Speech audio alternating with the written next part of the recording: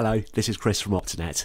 This time we're going to look at how to price up and manage your own spectacle lenses in Flex. So, what you'll need to do is click to Menu and choose Setup. And when that opens, we're going to click into the Orders tab couple of general settings here around the orders and dispense in Flex. Not too much to these pages, and you can find out more about them on the portal. But where we're going to start is the Hawkstone Lens Catalogues tab. So Hawkstone are the intermediary between the manufacturers of spectacle lenses and providers of PMS like ourselves. So if there's a catalogue that you don't see in this list, if you speak to your lens supplier in the first instance, they may be able to get logged in on the Hawkstone system. To download a catalogue, what you can do is click on its name and then download updates. I appreciate updates sounds like you've got it already, but just to download it in the first instance also. Uh, you can also download updates just for the ones you've got in use. So that's got the in use tick box here. Uh, I would not recommend pressing all of them, it will take quite some time. So what we've got here is the Essilor catalogue that I downloaded, for example, and you can create your own custom catalogue. Press create custom, give it a name, and then it'll appear. I've got one here just called Flex. Uh, also, we have an option for downloading SF6 catalogues. So this is for suppliers who've sent us data directly in SF6, which is a recognised format uh, for these catalogues. You can download a couple in there. Again, a warning that they can take quite some time to download, uh, especially the Zeiss catalogue, due to the amount of lens data in them. Uh, if you do want to reset, again, tread with care, but it's going to ask you if you want to delete lenses from here. Uh, and again, just ones you've selected or all of them. Again, I would exercise caution with that button. So, if we click across now into My Lens catalogue, you're going to see two different windows here. The right-hand pane, this is like a holding area. So lenses that you have downloaded from the internet, uh, from Hawkstone, will appear in this list. So for example, if I click on Essilor, it shows all the Essilor lenses I've downloaded. The left hand pane is going to show all the lenses we've actually got on our system, so available for you and your DOs to dispense in Flex. So, to copy lenses, you can press copy all. When I do this on a training day, I obviously don't know the lenses that you use day in, day out, so I do go nuclear and download everything for you.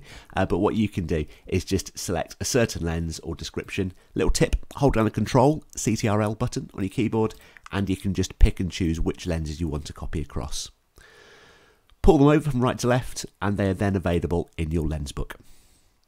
If you want to create your own lenses, if I click on Flex, that was the one I made, just under description, just here, you're going to see a Add Custom Lens button appear.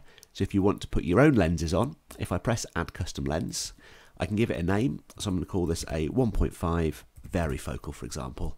Uh, code, again, you can search by lens codes, but strictly speaking, it doesn't matter too much what goes in here. Uh, material index, I'm going to mark it as a varifocal. That's how the dispense module in Flex will know it's a progressive, and it's going to give us the nudge around the heights and the direction for them.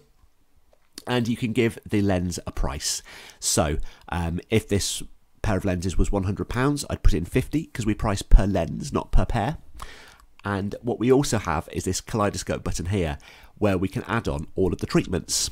Again, similar to the lenses themselves, on the right hand pane it's what's available in the catalogue, and on the left hand pane, what's available on mine. So, for example, to add a treatment on, I'm going to just call this a hard coat lens. That's going to be £20 per pair, so £10 per lens. So now I've got two different treatments available, and I could drag those across, and they're now available to be sold on the system. The good thing about using manufacturer's data is as well as getting cost prices that you can generate formulae from, they give you all of the range data generally and all of the treatments, etc. It's only ever as good as the manufacturer data that's supplied. Uh, I shan't call out the very good and very bad ones here, but you'll probably soon get a, a flavour for them uh, when you do use them. But you can add range data in here as well. I think, in honesty, a little bit of a false economy if you're making your own lens book. But here I've now created a lens, and when I save that, that's now in my lens book and we could put a price in when I first created it. Under my lens prices, that's where you'll be able to choose your supplier. So under flex, I can go in and I can reprice my lenses here if I need to, just to show you the Essilor data that's appearing in there. Uh, what we can see here, uh, so this Eyezen Boost 0.85 or 1.5. Uh, the reason we have so many different lines here is all the different blank sizes, but if I just price up the yellow one, which is called like the stock header, so if I call this £30, is going to price all of those lenses up for me at £30. Again, please remember it's price per lens, not per pair. uh, you can assign formulae to these lenses as well. So if I want to assign, again, I've not got any form set up, but if I want to assign to a retail price, I can do that in there. And with tints and coats, also, so looking at Essilor, these are all the tints and coats available. You can price these up here. And if I just look at my own tints and coats that I made, we saw MAR and hard coat, didn't we? If I wanted to, I could come in and change the prices of these two. So this is where you can create your own lens book. And now we'll have a quick look to see how that appears in the front end of Flex.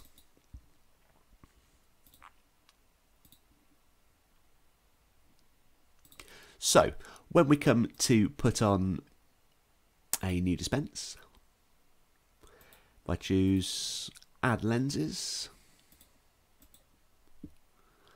then we could see that varifocal that I made before. If I double click on it, it's brought that through and it's brought through the prices and I can go through and choose the coatings that I want on it as well.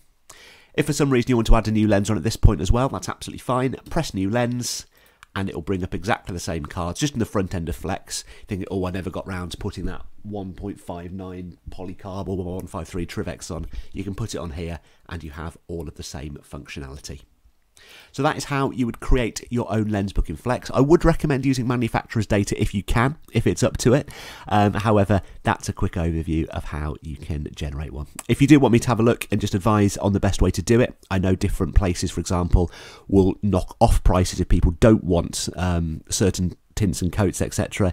If you want me to have a quick look, I will do. Uh, you can raise a ticket on the portal at the top of your screen, and I'll be happy to help with that. So, any more questions, make sure you do let us know and always keep checking out our YouTube channel where more videos are always being added.